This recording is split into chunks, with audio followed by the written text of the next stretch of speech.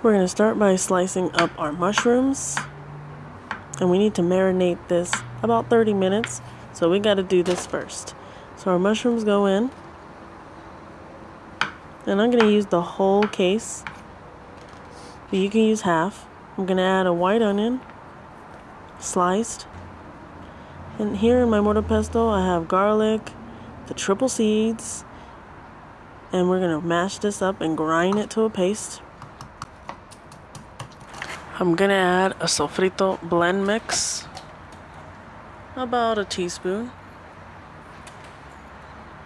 If you can't find this, is alright, you don't have to use it.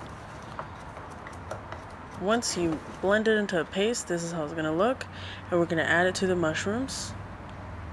Super good, smells so bomb and so fragrant. I'm to add liquid smoke. I'm using mesquite and hickory. I'm going to add about a teaspoon or just like a couple of drops. Not too much. This can go a long way. It's very strong. So a fourth of a teaspoon is perfect. Just a couple of drops. And not really much of a measure. I'm going to add some taco seasoning. And I like to use Taco Street. It has good ingredients. I'm going to add some sage. I'm also going to add some marjoram. These spices are my favorite. And now I'm going to combine this together.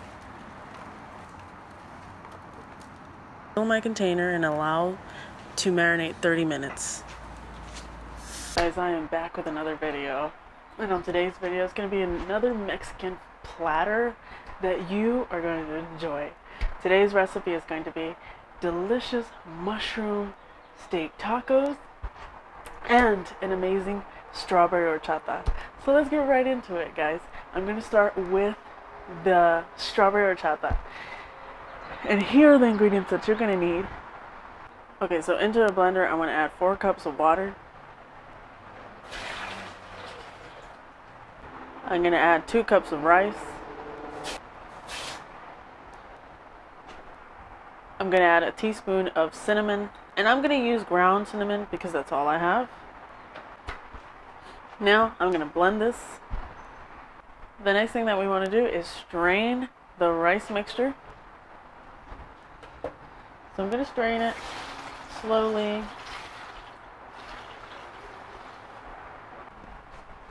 So we strain the rice out.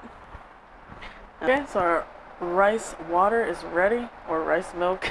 I'm going to add this to the blender.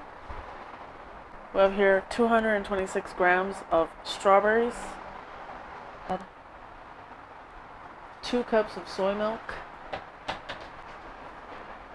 And here I have one cup of coconut sugar.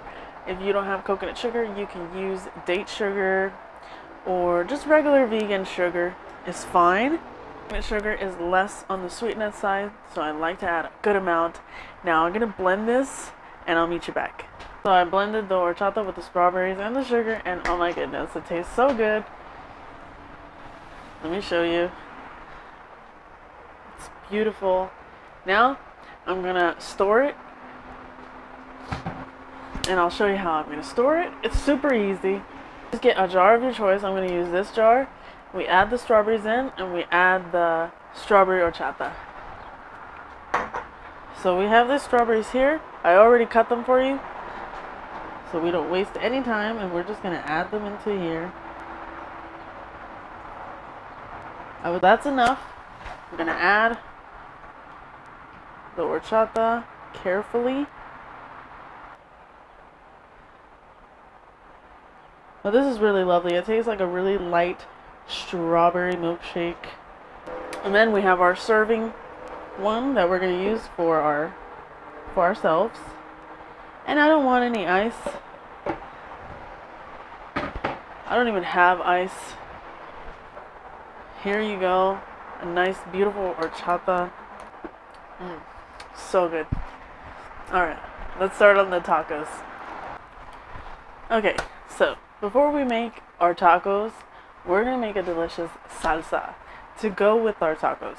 So I love to make a fresh pico de gallo salsa. And I'm going to show you how to make it right now.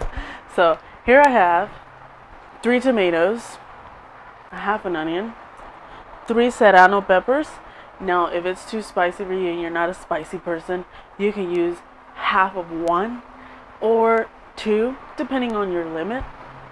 I'm going to go ahead and use three because I want to spice up my life. Into a food processor, we're going to add the ingredients. So I want to start with the hard stuff first. The hard stuff is going to go at the bottom. The softer vegetables are going to go at the top. So I'm going to add my onion. So we add the serranos. Then I'm going to add my tomatoes. I'm also going to add cilantro, a nice handful, some lime juice. Essentially, this is like a pico de gallo, but instead of chopping it up into little pieces, you're going to blend it like a salsa. It's amazing. I love this salsa. This is my go-to go salsa. It's super fast to do because you're not doing any cooking. It's just a nice raw, fresh salsa. I'm gonna add a little bit of Himalayan salt. Salt. I like Himalayan salt because it's like a coarse salt. You can use any type of salt. And blend my salsa. And I'm gonna pause every few seconds so I don't overblend my salsa. Alright, so I have my skillet here nice and hot.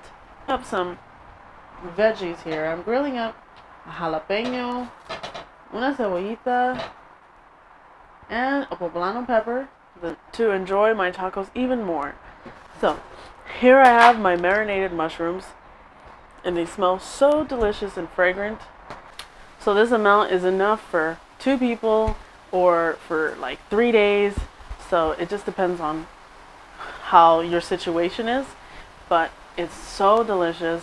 The last thing I'm going to do to my mushrooms is to add a little salt. But you definitely don't have to.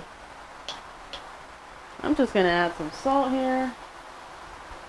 I'm going to allow my mushrooms to grill five minutes on each side. I want them to get nice and seared but not burnt. Oh my goodness, the smell is so amazing, guys. Mushrooms are so delicious. They're a great source of protein, a great source of B12. They have a lot of fiber and different nutrients. They also have anti-inflammatory properties, so they're super healthy and super medicinal. They not only satisfy your meaty cravings, but they also make you better. They heal you from any inflammation. They are also taking care of you. They're a great source of probiotics because they're a nice little fungus. So they feed your gut bacteria. It's a lovely, lovely ingredient. And I enjoy mushrooms just as much as I enjoy tofu. So I'll meet you back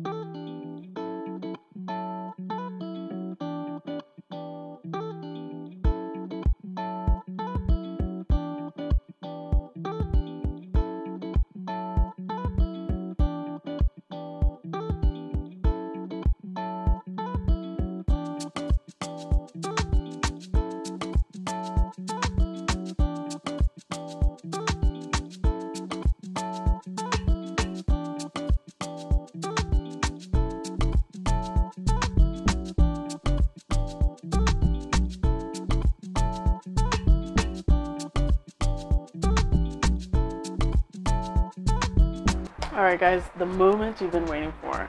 You have been waiting for me to turn into a tomato because I'm about to eat some tacos that are spicy. Here's our amazing platter. Of course, Mexican style. Like always, gotta keep it Mexican. Hmm. I gotta try the beans first. I made these beans this week. I forgot to film it though. Sorry about that. Hmm. Oh yeah. Mmm. Oh my god. It's good. Mm-hmm. And I expected it to be a lot spicier, but it's actually a really good temperature. Wow.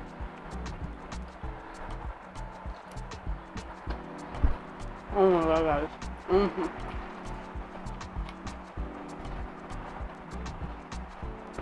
This is so enjoyable. I don't care what you are, vegetarian, meat eater, anything. You would love this. Unless you're a mushroom hater. Which I do know some people that do not like mushrooms. And you can try tofu. Mm.